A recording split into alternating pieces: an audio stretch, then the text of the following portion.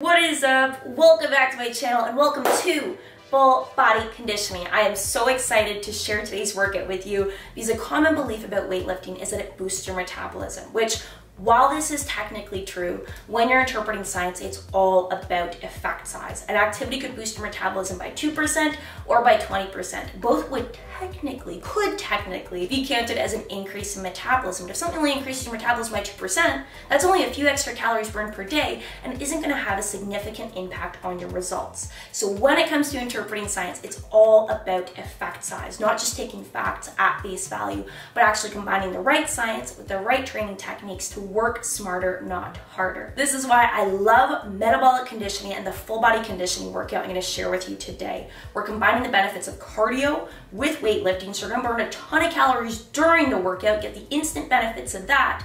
But because we're training with weights, you're also gonna get the metabolism boost from maintaining muscle, plus the afterburn effect of training at a high intensity. So you're getting the best of both worlds without struggling through hours of cardio, without burning calories at the expense of also burning muscle. Today's workout is part of the three-in-one method that we developed for our new full body fit guide, which depending on the day, brings the intensity in one of three ways. So earlier this week, we focused on strength and power. Today, we're focusing on conditioning. Then later this week, we will shift gears to focus on muscle building.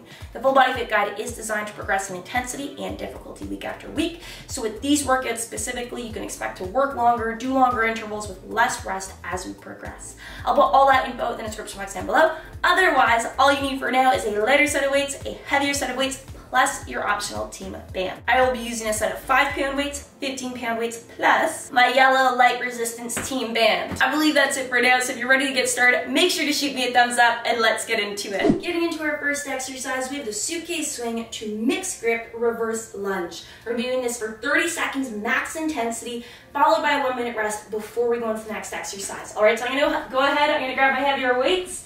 We're going to start with our feet shoulder width or just inside of shoulder width apart weights hanging by our sides. We're going to sit back at the hips to load the movement up. Then we're going to drive our hips forward as forcefully as we can, transferring the momentum from our hips to bring the dumbbells up here. Okay, so again, that first part of the movement looks like this. Bring it up. From here, what we're going to do is we're going to step back with the right leg, and at the same time, we're gonna let the right arm come down.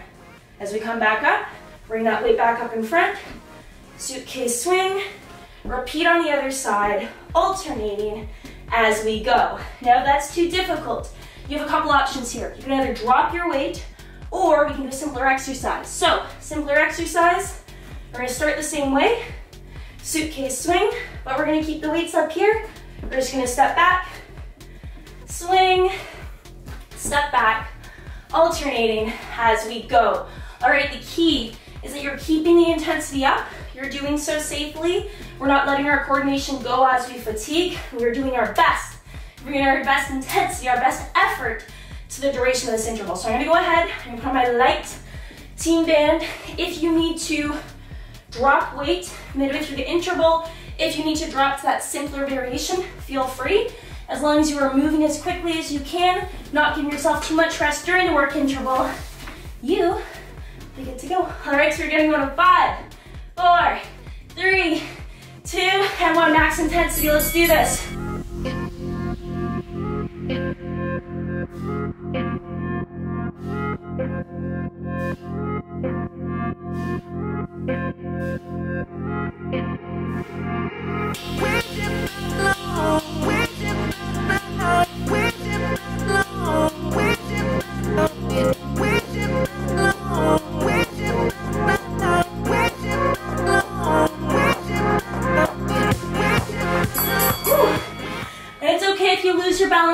Sometimes happens to everyone when we're pushing hard, as long as you're staying safe. Our next exercise, we're taking it down to the ground. We've got just about 50 seconds left to rest. We're gonna be doing the kneeling clean and press, okay? So starting from a low kneel, just like this. Weights back by your hips. Leaning forward, keeping that core nice and tight. We're going to explode forward through our hips. As we do, bringing the weights up, pressing them overhead. Okay, then reversing the motion, bringing them back. What we wanna do is work that into one smooth movement. So we can do it fast, we can do it at intensity, just like this, okay? So it's swing, Thrust forward at the hips. Use that momentum to bring weights forward and up. If that's too difficult, either drop the weight, or if you're not confident with that movement, just go here to here for a kneeling push press, okay? Because we are off, let's do this.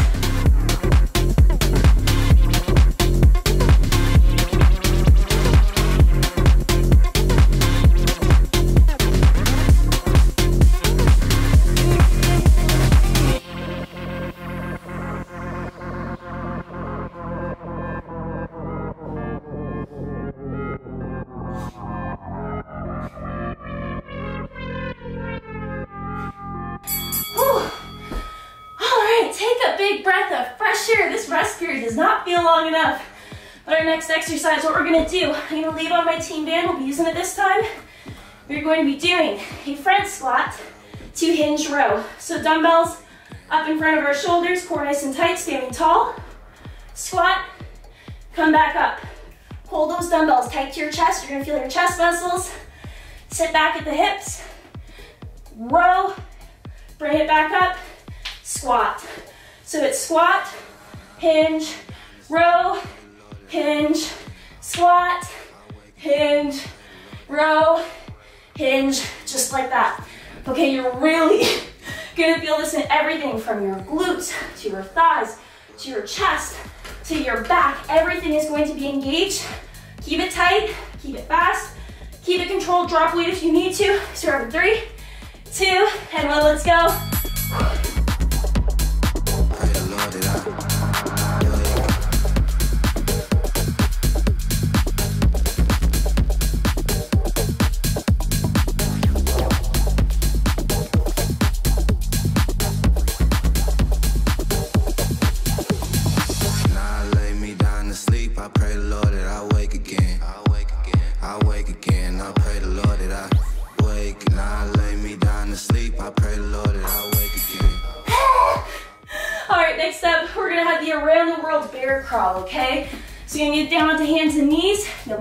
Light weights on this?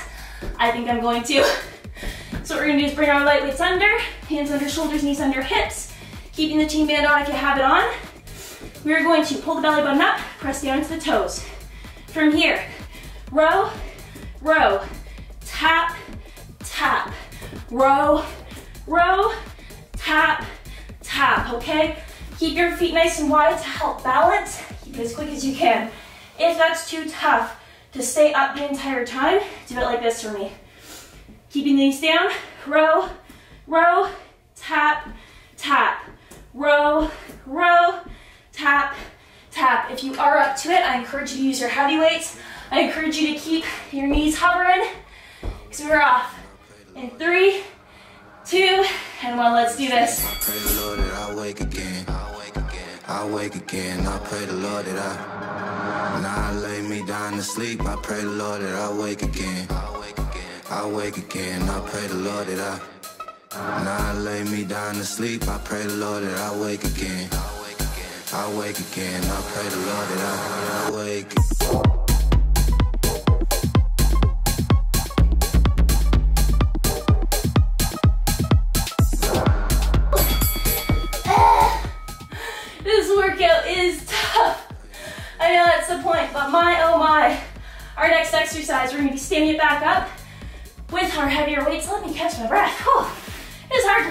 Between these intervals. Let's stand it up.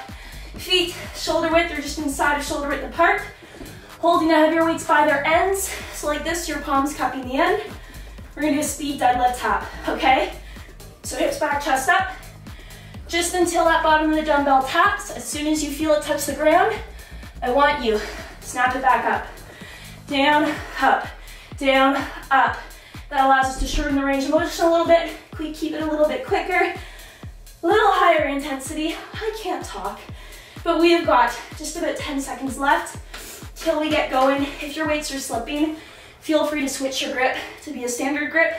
Just don't go away to the ground, okay? Because we're off, right? Heck now, let's do it.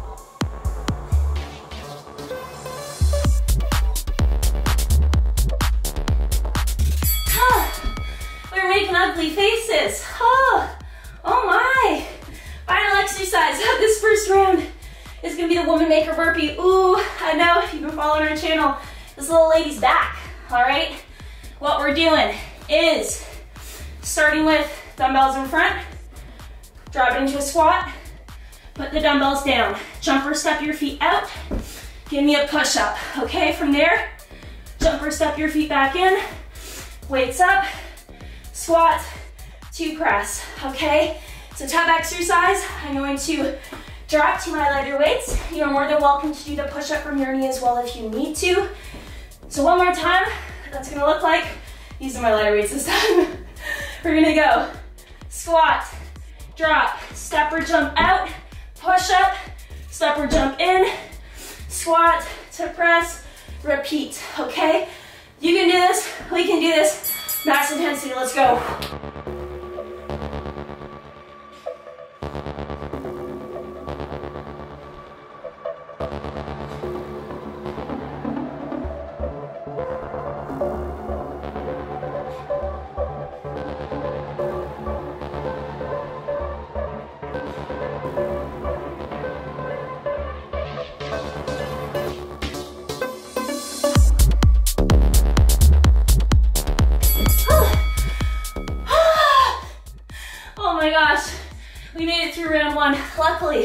Two rounds. So now it's a great time to stand up. I know you don't want to. Grab a tissue, grab a towel, grab some water. I'm gonna go do that. I'll be back. It's time to get going for round two.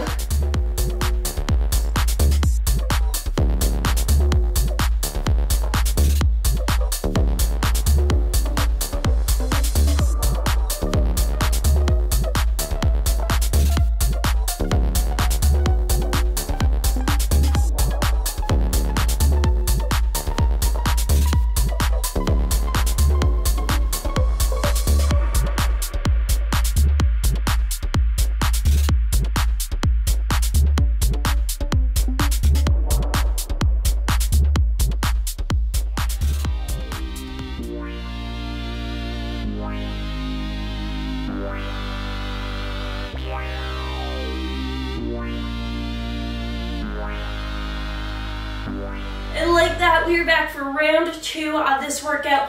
I'm not ready, I know you're not ready, but that is the point of metabolic conditioning, to push every energy system to the max. All right, this is our last round, so last round you have to make it through. So as a reminder, our first exercise is going to be that suitcase swing to mix grip lunge. Alternating side to side as we go. So it's gonna look like this. Suitcase swing, lunge, suitcase swing, lunge, dropping the same side arm as the leg you're stepping back with. If that's too tough, just go swing, lunge from here, alternating sides as you go. Drop your weights if you need to, because we are off. Right back in now.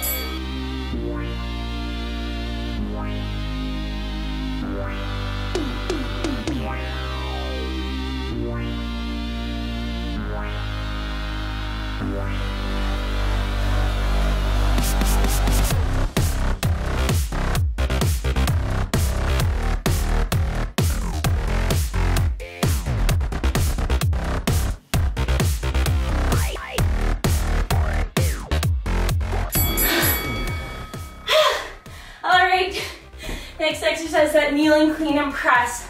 Something I wanna remind you of is do not let your ego get in the way of your safety. If you need to drop weight, if you need to drop to an easier variation, do it. I did it at the end of the last one. It's so important when we're training at intensity to keep safety in mind. As you fatigue, we lose coordination, increase of injury, risk of injury goes up. All right, you can see where my brain's at. But getting to kneeling clean and press, starting from a low kneeling position, leaning forward, we're going to drive through our hips, transfer that momentum. Get the weights here, press up, reverse, repeat in one smooth motion. If that's too tough, either drop the weight or go to an easier exercise, like the kneeling push press. So weights here, again, driving through the hips, boop, Got those weights up, okay? Just like that, because we are off.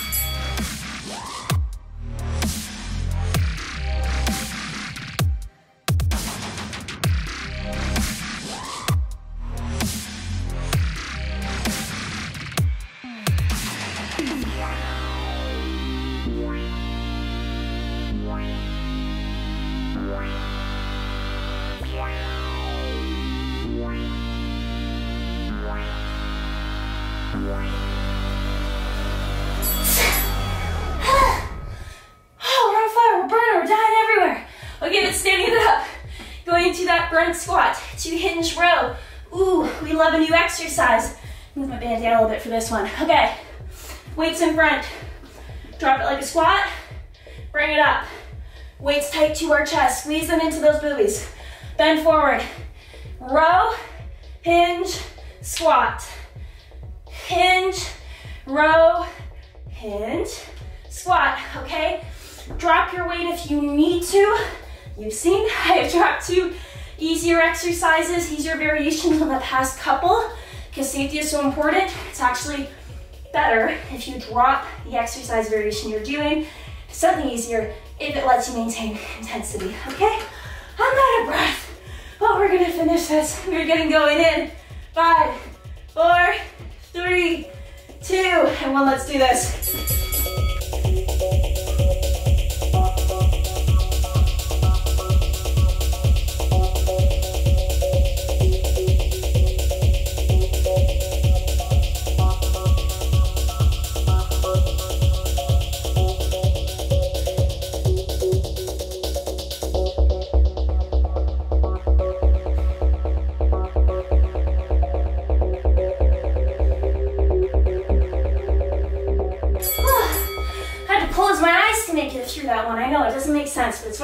Tired. Okay, next exercise is the around the world bear crawl. So hands and knees.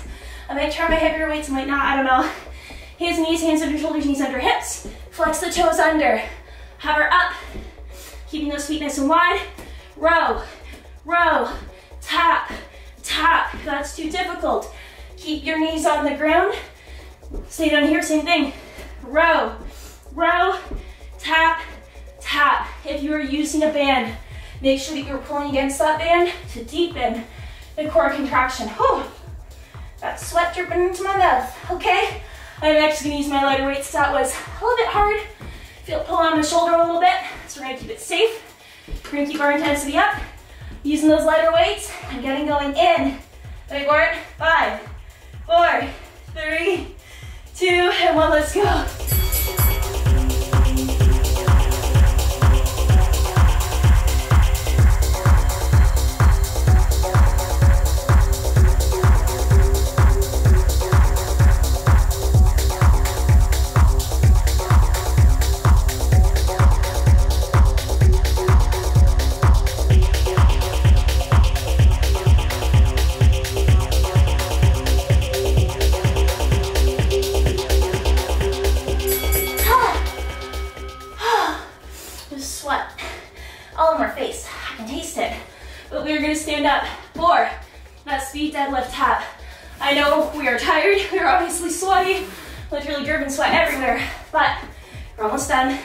Through. So as a reminder, feet shoulder width or just inside of shoulder width apart. Holding your dumbbells by the ends. Cupping that end in our hand just like this. We are going to sit the back of the hips, chest tall, just until the end of the dumbbell taps. As soon as you feel it, I want you exploding right back up, okay? All about speed, all about intensity. Now, if you're losing grip, as I am right now, it's okay to stay with a regular grip here. Just grip it like this. Just don't tap the ground, okay? So go here, whatever range lets you stay going quick, going fast. So we're getting going in. Five, four, three, two, and one, let's go.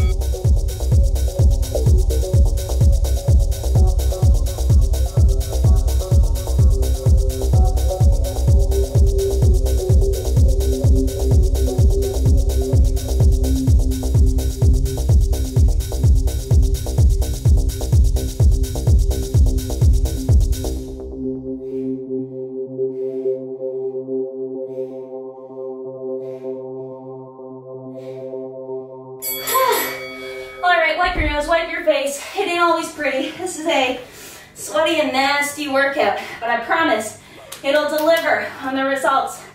For our final exercise, if you want to make a burpee, We're orienting on that, but to make it fun, you're gonna hate me. I want you to go for as many reps as possible, okay? I'm gonna use my lighter weights. I want you to go as fast as you can, as many reps as you can. If you gotta drop to knee push-ups, I don't care. But after this, I want you to comment how many woman maker burpee reps you got. Okay, that's how I know that you made it through the workout, that you brought your best effort, showed up for yourself. So as a reminder, what this is gonna look, so we're going to. Start in the weights in front, drop it like a squat. Put the weights down, step or jump your feet up, push up, step or jump your feet in, up, press, repeat. Okay, as fast as you can, as many reps as you got, so we're done after this.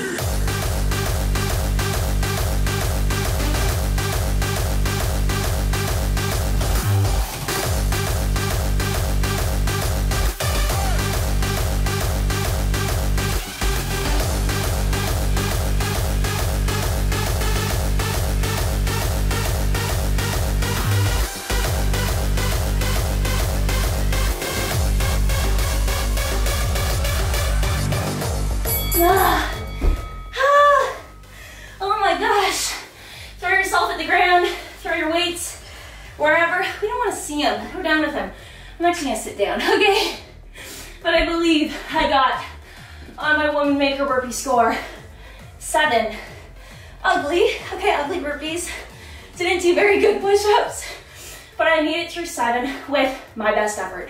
And that is what matters. It matters that I bring my best effort, you bring your best effort.